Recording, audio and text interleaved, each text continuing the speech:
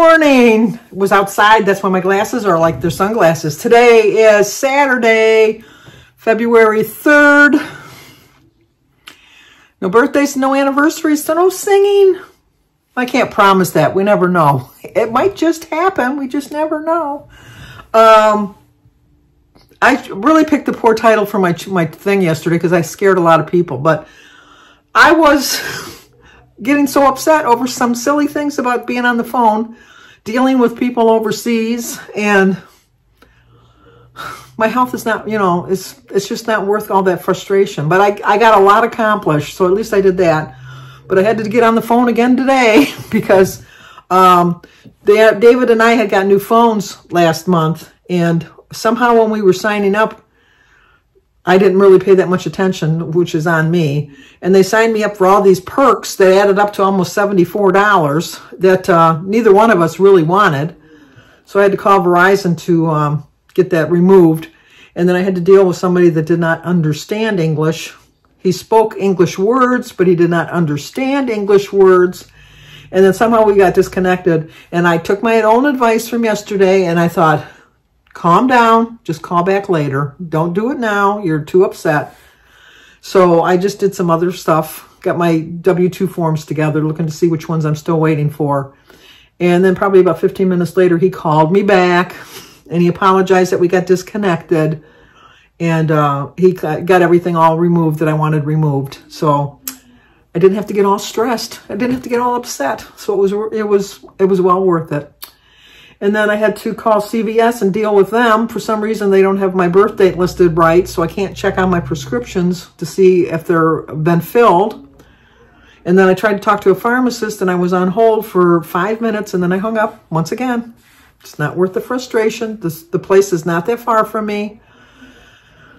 If I feel like going out later on today, I'll go and I'll just go up to the pharmacy and ask. Our pharmacy is closed between 1 and 2 anyhow for lunch hours. They bring the gate down the whole bit. They'll lock it up tight as a drum because you can't get anybody to work anywhere you go. And I, I understand that's the problem when you're trying to call people and you're on hold for so long is, I don't know. I know they keep saying people are the, you know, the, the job market, I guess the job market's doing really well and everything's up and all that. But, you know, like sometimes you just don't see it because I don't know. I just don't see it. I don't know. But I see for sale, uh, not for sale, help wanted signs everywhere. So I, I, don't understand. I don't. But in the same sense, uh, when Alyssa was looking for a job, McDonald's, Burger King, Wendy's, we have a, a Tim Hortons by us, and Taco Bell all had signs up, help wanted, and she applied at all of them. And the only place that called her was uh, Taco Bell. And the only reason they called her at Taco Bell is because David's best friend's mother is the manager of Taco Bell. And so she got she hired uh, Alyssa, you know, because she knew David. But so, you know, even our Kroger's, it tells you that they, they have a help wanted. And I don't know. I just, I don't know if they're just not calling people or people just don't want to work. I don't know. It's just, it's different nowadays. It really is different. But then on this one corner by our house, obviously they're going to have to change the traffic light. Um, where I live, there's a, uh, it's a main intersection. It's a main road. It's a highway. Uh, it's M53, I think it is, or M29. I don't know. It's it's it's a big road. It's a it's a major road, and uh, and where I'm coming out on the side street is like a main road, but not a busy road, but a main road nonetheless. And to get across the street, which is 23 Mile Road if you're familiar with the area. But to get across 23 Mile Road from this particular area, the light, because we have timed it, is um, 34 seconds. 34 seconds, which seems like a lot, but by the light time the light turns green and the car starts, only one car can get through. And they are building a new gas station on that corner uh, called Sheetz which is kind of like the Wawas, I guess, from the East. They said it's kind of close, similar, not the same. But uh, they said it's based, like, uh, as an example, Wawas is an example for them. And it's going to have donuts and Slurpee machine, kind of like a 7-Eleven, I think. It sounds like, but with a gas station. But our 7-Eleven has a gas station, too. So I don't know, but they're going to definitely have to change the light because there are, I would say at least once a week, really bad accidents on that corner because people try to beat the light because, you know, and then the thing is it's 34 seconds to get across, but Jim and I have timed it. And like if you're stuck at that light, you sit there for three minutes and 45 seconds. Now that's a long time to sit at a light. It's a whole song. It's a whole song on the radio. So it's like, no, I mean, so anyway, we got that coming. Then we have a Chick-fil-A coming, which is going to be horrendous. I've never eat. Uh, no, I take that back. I had a Chick-fil-A one time at the Somerset Mall, which is not near me. We were coming back from a trip or something, and we stopped there to have dinner or lunch or something. And I had a chicken sandwich, and you know what? It was, to me, a, a chicken sandwich. I just, I don't know. Maybe there's more things on the menu, but I was just, I was more in tune to the famous Amos cookies place that was right next door. So while Jim was in line for the Chick-fil-A, I was in line for the famous Amos cookies. so, um, was the famous Amos or Mrs. Fields? It was one of the two, but it was a good cookie, let me tell you. It was really a good cookie. When I worked at Montgomery Wards, I used to always go to oh, Aunt Jane's. It was a pretzel place. It was delicious. I used to go there for lunch. That was, it was really, I really liked that place. Obviously, I got really heavy during that during the 80s when I was working there. Or it was during the 90s, actually. But, um, so now I've got everything all situated. Uh, the only thing I didn't get, which Denise and Mary got, and it's just, it burns my butt just for the fact that I did all the work. Well, I didn't do all the work. Lynn did all the work. But I was with her the whole step, every step of the way. Um, everybody got their e-tickets. Guess who didn't get their e-tickets? Me. I don't know why. I don't, I checked my email and checked everything and I, I just can't, I can't figure it out. I just can't, I don't know how to figure it out. And then I went to try to figure out how to do my uh, Comcast to bring my email up because yes, I was right because before I had at att.net, now it's at comcast.net, but I can keep the whole beginning the same. So I was trying to set up the mailbox and I couldn't figure it out. And then we're, we, like I told you yesterday, we upgraded the internet service to go a little bit faster and uh, their box is supposed to be delivered tomorrow. So on Monday when we go to the gym, after we get out of the gym, I'm gonna we're gonna go over to the actual store, and I'm gonna have them walk me through how to set up the email on my phone and how to check my bill. Because even I can't even view my bill. And I told you my bill is supposed to be eighty dollars before I get my thirty dollar discount, and uh, my bill shows it's 115 dollars. So I have to go over there to get figure out what's going on with that before the, because I have it set up to come automatically out of my checking account, and it's supposed to come out in two weeks. And so I want to make sure I know what's going on with that. But uh, the weather's beautiful. It's Can't, you can't really tell. It's sunny. That's why the, the, oh, the mail, I got my mail out just in time. My friend Jeff's birthday is um, next week on Tuesday. And so I wanted to get his card out. I was to, I was thinking it was Thursday, and I thought, well, I got plenty of time. And then I was looking at the calendar this morning, and I thought, no, Jeff's birthday's on Tuesday. You got to get that in the mail today. So I got out there just in time. I got that out in the mailbox. So I got that in there. Um, gonna watch some YouTube videos today. I've already talked to Christy. She's on the hunt. Her uh, great niece, her, how would that work? Her niece's, yeah, it was her niece's baby. So that would be her great niece. Um, is on some kind of special formula that's very hard to find. And so Christy and Sophia are on the hunt looking for it. And you're only allowed to buy two. So Christy's going to buy two and Sophia's going to buy two. And then Christy's sister-in-law is going to buy two. Just, you know, I know that kind of shorts it out for whoever, but it's that's very hard to find. And when your baby's hungry, you want to make sure your baby eats. So I'm watching on Prime Jeff Lewis. Anthony Anderson is not one of my favorite people. Uh, you know, I've told you that before. His mother is on everything. And just, it, I mean, I love, I love that he loves his mother, and I, I love that he takes care of his mother. But I, I don't love that his mother's on everything he's on. You know, I love my mom, but she's not on everything of mine. And my kids, I love my kids, but I don't put them on every single video. But I do put them on a lot. I really do. But um, Anyway, he he's on there. He's one of the ones that are, he's getting his house redone or whatever, redecorated.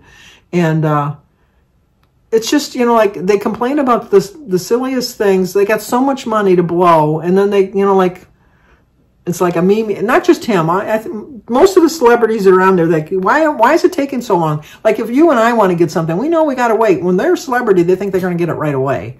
But he is so skinny, and it's just like the reason people can't. The diabetics that need the. I can never think of the name of it. I know what it is.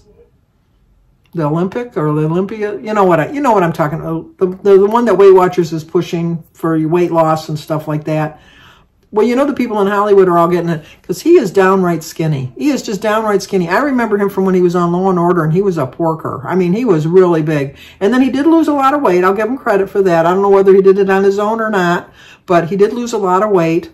And um, but now he's just downright skinny. And Olympic, no, I'm gonna put it right here because you know what it is. I know what it is, but I just can't. I can't say the. I just. I'm not even gonna frustrate myself with it. It's not worth it because we all know what I'm talking about. But he has to be taking that to be that skinny. He just has to be. And it's just, it's not fair to the people like diabetics that really need the medicine, but people are just using it for weight loss. And then if you really need it for your health, you can't get it because somebody just doesn't know how to say no with their food. Now, I know that some people have, I'm one of these people that it's hard for me to lose weight. I gained two pounds this week and I was on plan. I, if I look back, I look back at my tracker and the only thing I can say that is because I was exercising, although I've been told I haven't exercised enough that it would affect my body, which I completely accept. But the only thing I can think of is that I ate out the night before and the sodium, I had a sodium gain because I have no regrets from my previous week. Um, I And that's why you shouldn't let the number on the scale define you. You really shouldn't. And I'm really trying very hard this year to overcome that thought process. Although I'll admit it's a little hard for me sometimes. I'm still thinking that way. And, uh, and I, am judging it how I'm feeling. I have to tell you, though, that since I started walking, I do feel that my balance is, is getting better. I really do. I, I think it's the fact that I'm strengthening my leg muscles um, by the walking, not sitting around so much like I was. And um, and when I'm in the pool, I practice going in the deeper end, which is not really that deep. It's like five foot deep, but it's enough that when people are swimming by, there's a little bit of motion in the ocean, if you know what I'm talking about. But uh, th there's a little bit of a current, not a, not even a current, but you know what I'm talking about. So I, I try to stand on just one foot as long as I can and then switch it off. And so if I fall over, I'm in the water. Who cares? So I, I've been doing that a little bit more. I just have to work on my upper body strength a little bit, a little bit more. But I think that I'm really seeing a difference. I'm really looking forward to going on my vacation, especially now since everything's taken care of. I just, when I get my income tax, I'll pay all my credit cards off, which will probably work out perfectly because I should be bringing my stuff in and getting my refund about the middle of March, and that'll be about when my credit cards are going to be coming due because I had just paid them before I put more money on them. So um, that's that's going to be nice when I can get that. And just if I can get the figure out why I didn't get my e-tickets. I printed everything off and I have a folder, so if I never ever have to refer to it, I have it. Just have to figure out our suitcase. Um, I would like to just do an overhead and uh, not have to worry about dealing with luggage, especially since they charge you now. As much as you pay, and you still got to pay for luggage to be brought on. Jim and I are thinking we're just going to share one bag and then just bring our carry-on. Jim doesn't. Jim's bringing his carry-on to um, uh, in his suitcase just to bring souvenirs home with. So he'll have that. And I agree with all of you when you said that I should get out of the middle seat and just sit on an aisle. We don't have to sit next to each other, which is very true. I'm just hoping that the plane doesn't fill up and there's nobody next to me. I know that's a dream. Dream, I know. Dream on, Sandy. Dream on. But uh, and if I get too uncomfortable, I'll just switch seats and make him sit in the middle and I'll sit over by the window because that doesn't bother me one way or the other. My favorite part of flying is the most dangerous parts of flying is the takeoff and the landing. Those are my favorite parts of flying. and those are really when the most things are going to happen. So I'm just going to check all the bolts, make sure the bolts are on.